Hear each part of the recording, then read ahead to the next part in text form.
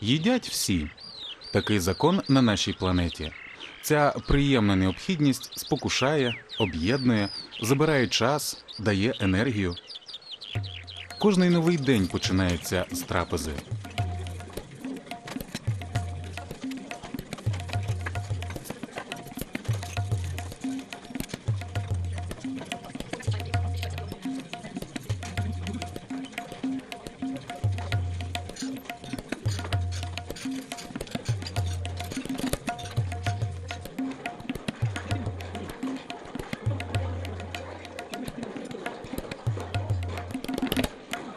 Спокуслива реклама зваблює і веде до багатоповерхових полиць магазинів, де в строкатому вбранні очікує на своїх покупців їжа.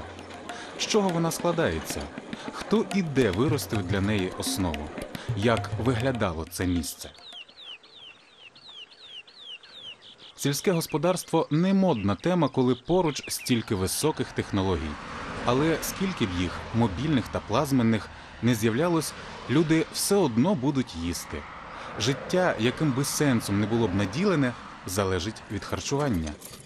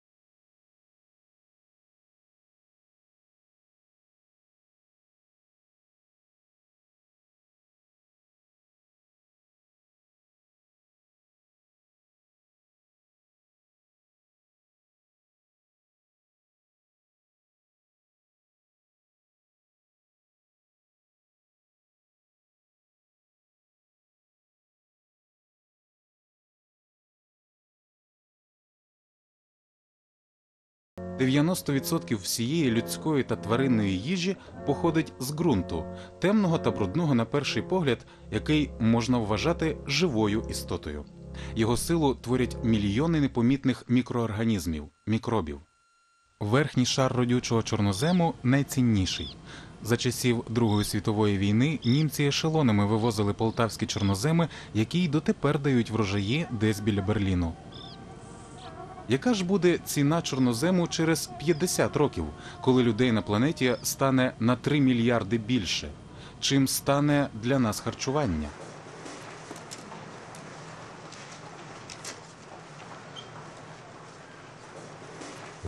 Середина ХХ століття. Розквіт хімічної науки. З'являється можливість отримувати більші врожаї. Згодом це назвуть зеленою революцією.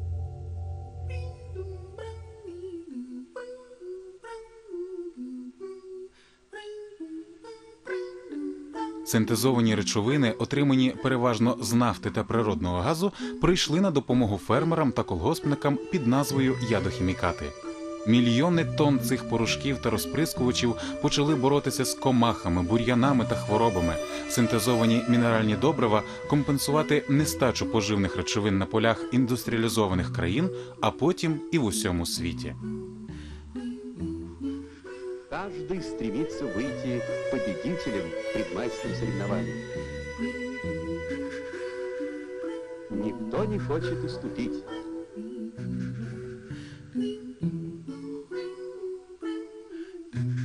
Ведь що таке внесення пестицидів? Ведь у нас нема респіраторів. Ото, е, ці е, механізатори, які вносять, вони ж без респіраторів і трактор ведуть і все вдихаються. І вони в 55 вони вже інваліди. Невдовзі агрохімічна промисловість стала однією з найпотужніших. Так утворилось землеробство ХХ століття, переважно інтенсивне, з безкраїми монокультурними полями. А з часом селекціонери почали створювати й хімічно залежні рослини.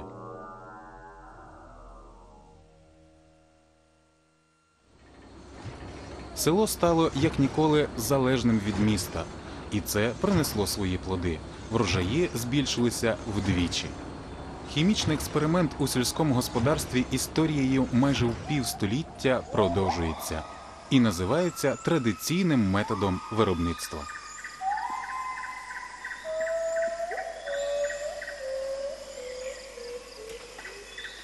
Однак тепер вже стало зрозуміло, що зелена революція не панацея. Виявились побічні ефекти, пов'язані з хімікатами, безпечних серед яких немає. Вітер і вода розносять польові хімікати підземними та надземними шляхами. Вони наявні в організмах всіх дніпровських риб та дельфінів Чорного моря. Найнебезпечніші, так звані стійкі забруднювачі, почали поступово забороняти. ДДТ, наприклад, через 33 роки після початку використання. Але ці токсичні речовини здатні викликати рак та природжені дефекти, зберігаються десятиріччями, мандрують повітрям та океанськими течіями. Вони виявлені навіть в тканинах пінгвінів та ведмедів Антарктики.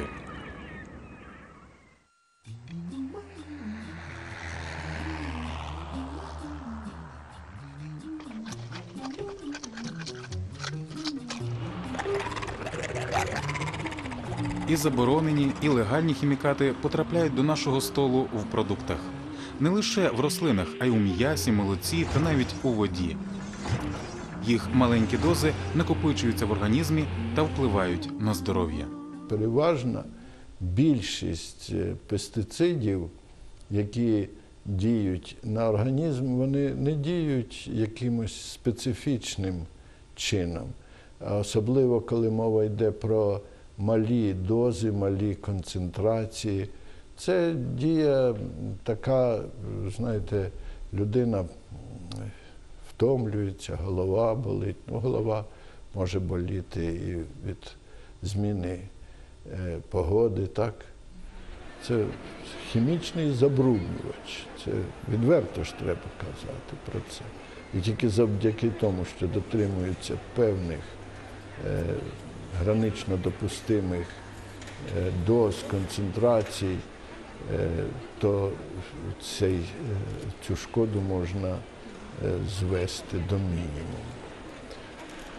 Ми, лікарі, вчені медики, дотримуємося такої точки зору. Якщо сільське господарство в змозі обійтися без пестицидів, без хімічних засобів захисту рослини, то ми, рослин, то ми б вітали це. Е, Це наша мрія мати абсолютно чисті харчові продукти, абсолютно чисту воду. Кажуть, вчені постійно намагаються створювати якомога безпечніші хімікати для землеробства. Встигнуть. Зелена революція вже перейшла в тиху катастрофу. Саме так емоційно, не по-науковому експерти ООН з Агентства навколишнього середовища називають деградацію ґрунтів у Європі. Одна з головних причин, вважають вони, пестициди та хімічні добрива. Ґрунт, з якого родом наші сніданки, обіди та вечері, зношується. Експерти знають, що 10 з 30 мільйонів гектарів землі сільського господарства України необхідно не орати, а лікувати від хімічної та індустріальної залежності. У травні 2002 року в найвпливовішому науковому журналі Science неочікувано з'явилась публікація про так зване органічне чи біологічне землеробство. Головний його принцип є досить радикальним: звільнити поля від пестицидів, регуляторів росту, мінеральних добрив, антибіотиків. Одним словом, повернути зелену революцію назад. У вчених колах цей тип господарювання сприймався як дещо несерйозний. І зараз не сприймають багато. От, скажімо, той же академік Носко із Харкова, він пише, що як тільки ми відмовимося від е, органічних мінеральних добрив, зразу на 40% впаде врожайність. А вона у нас в два рази вища, ніж ті господарства, які добрива приймають, і пестициди і так далі. Використовуючи природні процеси вміло, можна отримувати від землі бажане та не виснажувати її. З'ясувавши це, деякі фермери в розвинених країнах вже в бурхливо хімічні 70-ті почали засновувати господарства, які свідомо відмовлялись від здобутків хімії. Таких фермерів назвали органічними, а вироблену ними продукцію органічною або біологічною. Угорщина. Саме ця країна перша на пострадянському просторі, де з'явились такі ферми. Одна з них Варга нещодавно отримала міжнародний приз з Нідерландів королівську нагороду зеленого харчування. Ференс та Анна, які володіють цією фермою вже 5 років, вважають її своїм родинним маєтком. Вся ідея виросла з того, що ми хотіли створити збалансовану сільськогосподарську систему, яка б не мала відходів. Це був типовий вид землегосподарства Угорщини у 19-му та першій половині 20-го сторіччя. Зараз ми змогли створити дуже збалансовану систему, де нічого не викидається, все використовується. На фермі 20 працівників, і оскільки Варга має офіційний сертифікат на органічне виробництво, то з хімікатами ці люди справи не мають. Головне добриво органічних ферм звичайний гній або компост з рослинних та тваринних рештків. Поруч з коровами та конями у добривах нестачі немає. На 50 гектарів поля достатньо.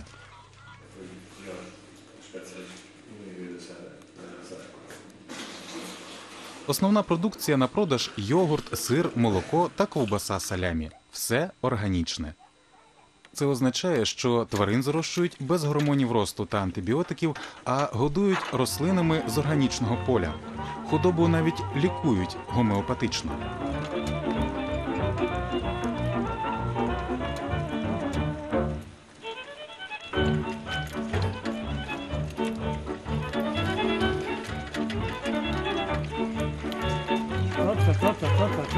Topsa, topsa. Topsa, topsa, topsa.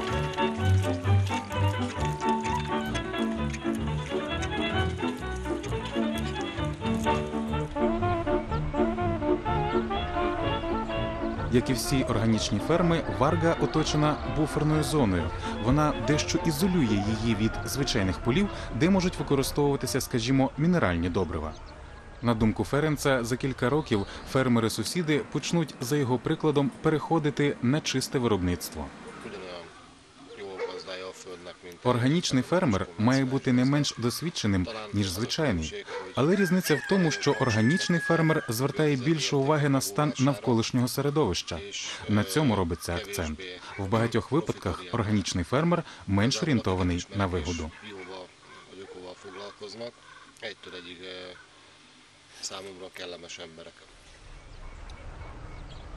В Угорщині, на відміну від країн Західної Європи чи США, попит на органічну продукцію поки залишається невеликим.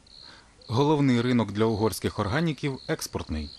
У 2001 році він приніс приблизно 25 мільйонів доларів. Основна продукція пшениця, соняшники та кукурудза.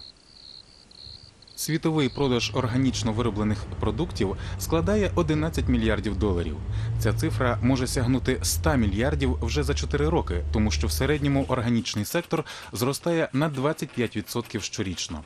В Австрії органічне фермерство займає близько 11% сільськогосподарської площі, в Італії 8%. Фінляндії та Данії 7%, Швеції 6%. Німеччині 4. Загалом у Європі більше 120 тисяч фермерських господарств, які практикують органічне землеробство та тваринництво. Органічну продукцію можна придбати не лише в гастрономі. Нею може бути одяг з органічної сировини і без хімічних барвників, та косметика з додаванням лише органічних трав чи квітів без консервантів і стабілізаторів. Але навіть у прогресивній Угорщині про таку продукцію відомо небагато. Свідомий органічний рух розпочався тут у 80-х. Ференц Фрувальд стояв біля його джерел. Економіст та бізнесмен він спробував органічні принципи на власній ділянці, і у нього вийшло. І не тільки у нього. Так, у 83-му році створився клуб Біокультура, своєрідний клуб дачників вихідного дня, який і став генератором розвитку органічного сектора в Угорщині. structure has changed because since that time uh, there was a, a huge development. So Now, most of the biocultural members are significantly different from those uh, at the beginning. So, mo- more or less, they are not not uh, weekend gardeners and not hobby gardeners anymore, but more of them are professional farmers, small or large-scale farmers, and uh, producing for for for the markets. Зараз в Угорщині приблизно півтори тисячі таких фермерів, півтора відсотки агросектору за площею.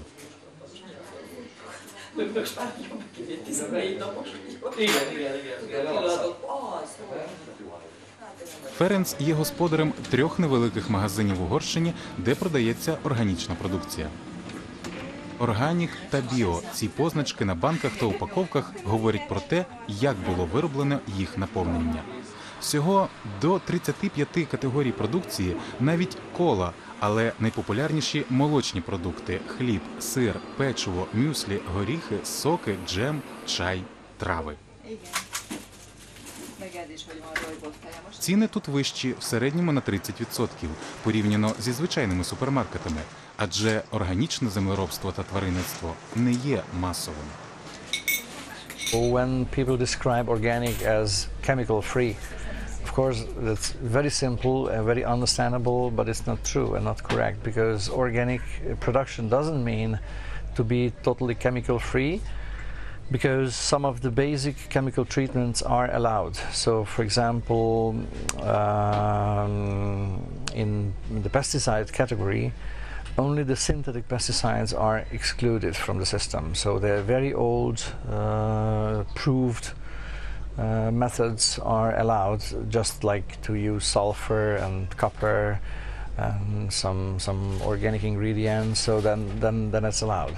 So the chemical free is is not correct. Органічне фермерство динамічно зростає як сектор агроекономіки, але зароджувалось і існує сьогодні воно перш за все як погляд на життя. Коли до Ференца звертаються фермери, які хочуть перейти на органічне землеробство, він обов'язково питає, навіщо їм це потрібно. Заробити гроші добре, але за цим, на його думку, має бути більше повага до природи та відповідальність перед суспільством.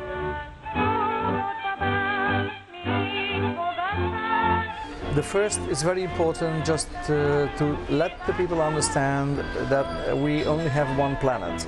Even if we have borders uh, among countries and even if there are cultural differences, whatever, so no, the planet is one. And what we are doing here will have a result on the other end.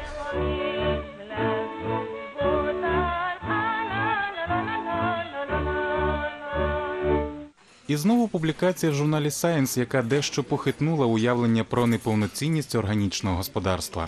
Йдеться про найдовше в історії дослідження з порівняння органічної та традиційної системи землеробства в дослідному інституті у Швейцарії Фібл протягом 24 років. Витрати на добрива та енергію в органічній системі зменшились вдвічі. Використання пестицидів на 97%. Врожайність картоплі, озимої пшениці, цукрового буряка протягом 21 року зменшилась в середньому на 20%. Але якщо порахувати збережені на енергії та хімічних добривах кошти, органічні системи ефективніші. Це економічні розрахунки. А справа не лише в них. Ґрунт на органічних ділянках з часом став плодючішим. Просте пояснення науковців таке. Нема синтетичних хімікатів, нема стресу для живої системи ґрунту. Мікроорганізми, мікроби, грибки почали краще займатися своїми справами, покращуючи структури землі та допомагаючи виробляти корисні речовини для рослин. Збільшилась кількість різних видів флори та фауни. Система стала стабільною. Тобто родючість відновлюється і зберігається ця земля, навіть примножується її багатство.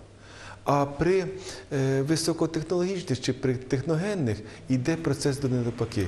Якщо ми зараз маємо пшеницю з білком від 9 до кращого випадку 13%, то при органічній системі землеробства ми будемо мати 24 більше відсотків. І ми е, ну, харчуємося баластом. Е, Краще, краще якості з'їсти його менше, але воно буде по живімся воно буде краще засвоюватися не буде баласту. Існують і інші дослідження. Вони доводять, врожаї органічних систем можуть бути не меншими за традиційні. Все залежить від того, наскільки обізнано підходить фермер до землеробства. Наприклад, чи використовує він принцип сумісництва рослин. Якщо біля картоплі висадити баклажани, вони відволікатимуть на себе колорадських жуків. Серед рослин є і гербіциди, такі як біла гірчиця, і інсектициди, звичайна цибуля або ромашка. Рослинною елітою вважаються бобові. Вони накопичують в землі чимало азоту, завдяки чому врожайність наступних за ними зернових культур збільшується приблизно на 30%. Рослини з їх різноманітними властивостями можна поєднати так, щоб вони піклувалися одна про одну. В цьому один з небагатьох секретів органічного землеробства. І це не міф, а природна наукова лабораторія. Щоправда, вона поки не отримала жодної премії або академічного звання. Якщо можна, я вам прямо відповім. Мінусів у органічному землеробству немає. Немає. І не може бути. Це природою створений процес. Цьому процесу тільки треба допомогти. І більше нічого. Ми, біологічному землеробстві, повинні Бібіховський закон повернення, землеробський закон повернення, виконувати. За що чого? За рахунок нетоварної частини урожаю по- повертаємо, за е, рахунок збільшення площі е, бобових культур, які компенсують азот, і за счет внесення е, по фосфору і калію агрономічних руд.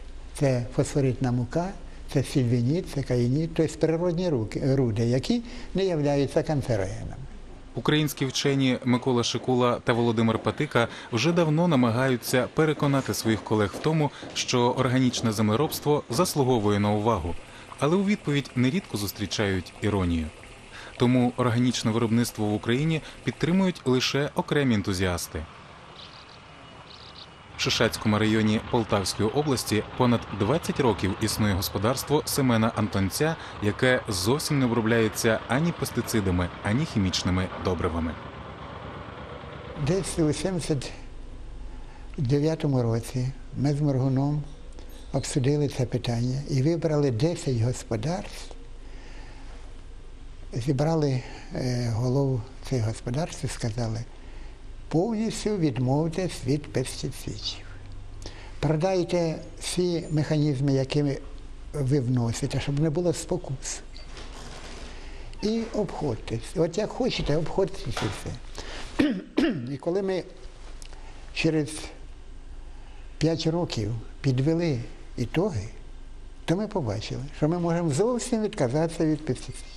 І оце е, шишацьке е, господарство, тоді воно було кол- колгосп імені Орджонікідзе, потім сад а зараз ПП агроекологія.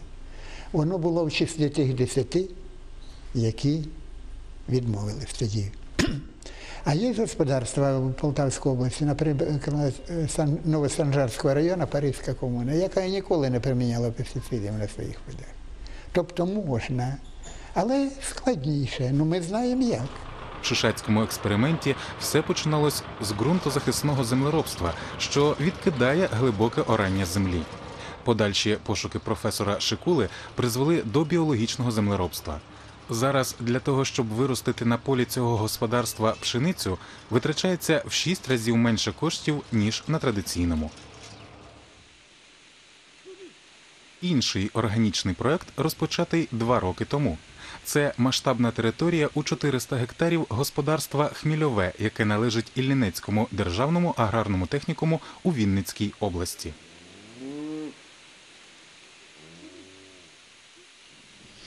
Е, Має бути український чорнозем оздоровлений від е, надто сильної хімізації, від надто сильної зруйнованості, від вивітрювання, від ерозій різних. От, е, він має бути оздоровлений. І якраз е, біологічне землеробство, біоорганічне землеробство призване для того, щоб цю роботу виконати без додаткових затрат великих. Хмільове через відсутність в Україні стандартів на органічне виробництво має сертифікат на нього не український, а швейцарський. Кожен рік в Хмільовому гості інспектори зі Швейцарії. Раптово перейти на органічне землеробство неможливо. За міжнародними стандартами три роки необхідно тільки для того, щоб підготувати ґрунт, що й роблять зараз у хмільовому. Тому на полі росте природний гербіцид біла гірчиця. Згодом у технікумі продаватиметься органічне насіння та проводитимуться консультації землеробів, які хочуть вести своє господарство по-новому. Зараз у Вінницькій області таких фермерів близько десяти. Заявити про особливість своєї продукції вони не можуть. Немає стандартів, сертифікатів, а відповідно маркування. Хоча лейбл екологічно чистий є сьогодні надзвичайно популярним. Кожна організація, яка стає на ноги, хоче продати свою продукцію. От, а за тою етикеткою, якою ви кажете, відповідно, людина, яка не обізнана, вона прочитала, що там написано, що екологічна чиста продукція, вона її купляє, звичайно. От, а насправді то може бути далеко не так. В технікумі створили марку органічного землеробства Біолан. Можливо, колись вона перетвориться і на позначку на продуктах. А зараз в Іллінцях планують виростити органічно ще сою та цукровий буряк. На сьогодні собівартість однієї тонни органічної пшениці в Хмільовому в два рази менша, ніж звичайної. Енерговитрати впали на 40-45%. От, я не виключаю можливість інтенсивного землеробства, але разом з тим біологічне землеробство має можливості отримати високі врожаї при малих затратах. Проте українськими можливостями вирощувати без хімікатів найбільш цікавляться іноземці. От Антонець, вокруг нього років 10 англічані, швейцарці, німці, французи кругами ходили. Їм хочеться продукції, а сертифіката в нього немає. А потім він найняв одну німецьку фірму, щоб йому зробили сертифікат.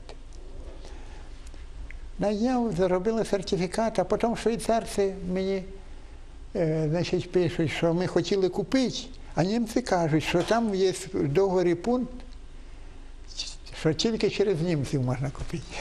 Тобто вони записали. Внутрішній ринок західних країн не задовольняє всіх прихильників біо, які готові щедро платити. Тому й приваблюють країни Східної Європи іноземних органічних бізнесменів. Without uh, the chemical influence and the high technology influence to the agriculture, I think organic could face to any of the problems. But the problems are two-sided. One is uh, original problems, so the pests and diseases, which are the enemies of the plants or the animals. That, that's, that's a basic situation. And there are a lot which occurs only because of the highly technologized uh, agriculture. So it's the result of the, of the mankind activity and the civilization. And that's a little bit more difficult. Сучасне землеробство зараз стикнулося ще з одною науково-технологічною революцією. Це генетично модифіковані рослини, ДНК яких змінено для набуття нових якостей, протистояти, наприклад, комахам або хворобам. Генна інженерія оминула міжвидові бар'єри, дозволила, скажімо, вмонтувати ген бактерії в рослину.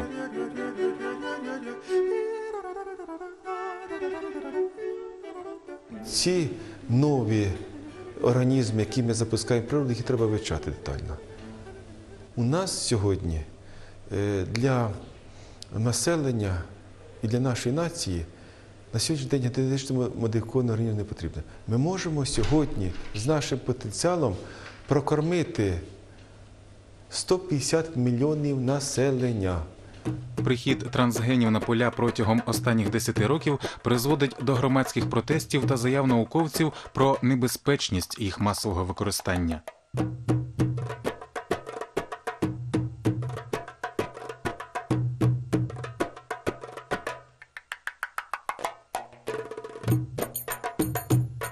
Всі системи органічного виробництва забороняють фермерам вирощувати генетично модифіковані організми. Але справа в тому, що трансгенний пилок може розноситися завдяки вітру, бджолам, метеликам на багато кілометрів та передавати змінену ДНК своїм родичам, звичайним рослинам. Це називається генетичним забрудненням.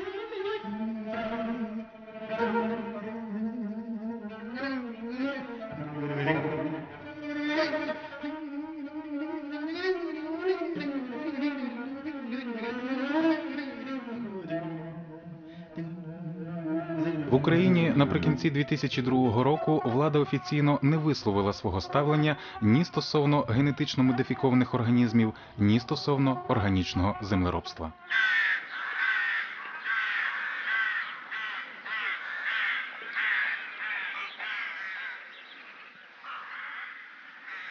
В усьому світі різні люди обирають органічно вироблену продукцію з різних причин.